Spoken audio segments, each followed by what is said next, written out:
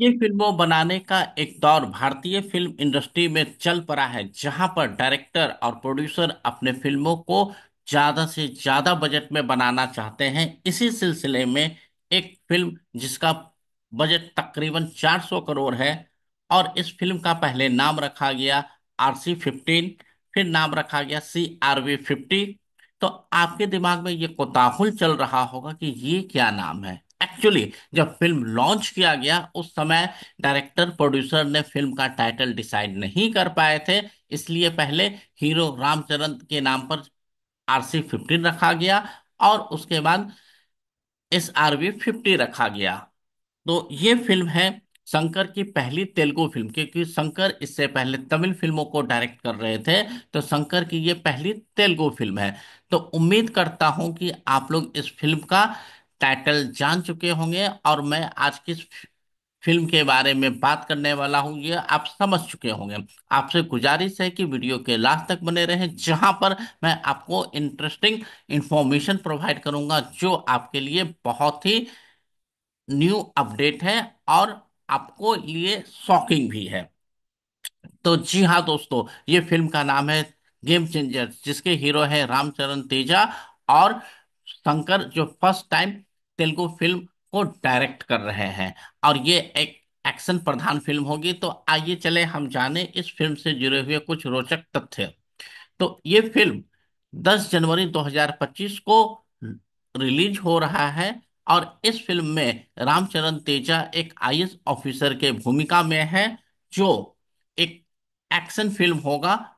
जैसा कि शंकर की फ़िल्मों में होता है कि जो हीरो है, वो सोसाइटी के बुराइयों से फाइट करता है, करप्शन से फाइट करता है, चाहे वो फ़िल्म हमसे है मुकाबला हो, जेंटलमैन हो, या इंडियन हो, या फिर शिवाजी हो, ऐसी कोई भी फ़िल्म देख लेते हैं तो उसमें ये दिखाया जाता है कि शंकर का, फ़िल्मों का जो हीरो है सोसाइटी में, समाज में छुपे हुए बुराई से लड़ाई करता है, वहाँ पर जो करप्शन है उससे फाइट करता है। तो ये फ़िल्म भी उसी सीरीज़ का एक और अनोखा अनुभव होगा, जहाँ पर रामचरण तेजा आईएएस ऑफिसर के रूप में होंगे और सोसाइटी में फैले हुए करप्शन के अगेंस्ट में काम कर रहे हैं।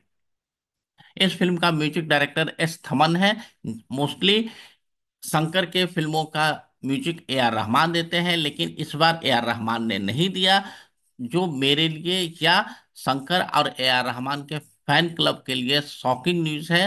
तो उम्मीद करते हैं कि ये फ़िल्मों का जो म्यूज़िक है वो अच्छा हो, लेकिन ए आर रहमान के लेवल पर हो, ये सोचने वाली बात है।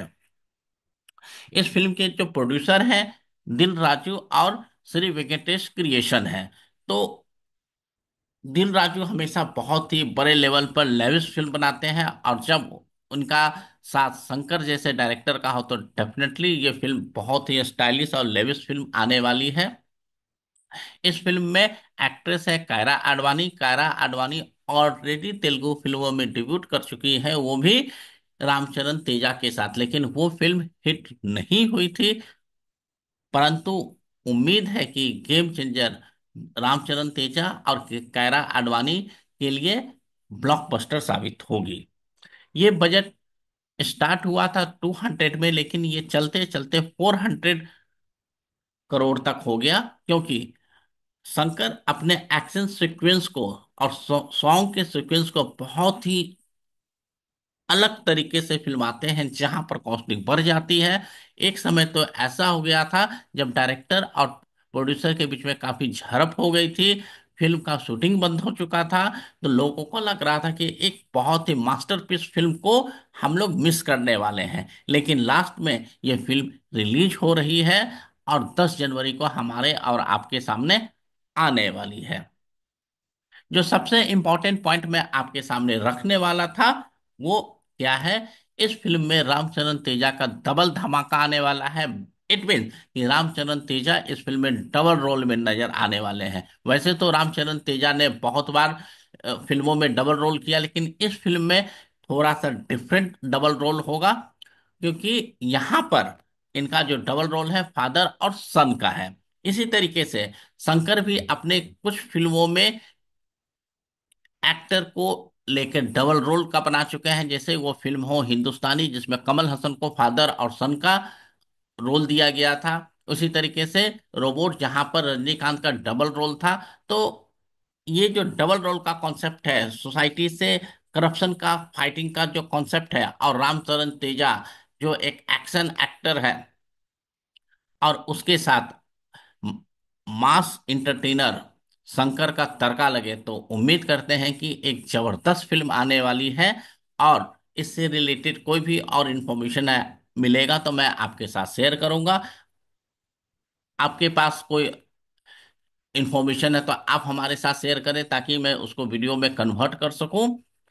और ये वीडियो आपको अच्छा लगा हो तो लाइक करें चैनल सब्सक्राइब करें और हमारे साथ बने रहें और हमारे चैनल को सब्सक्राइब करें। जब तक के लिए दोस्तों थैंक यू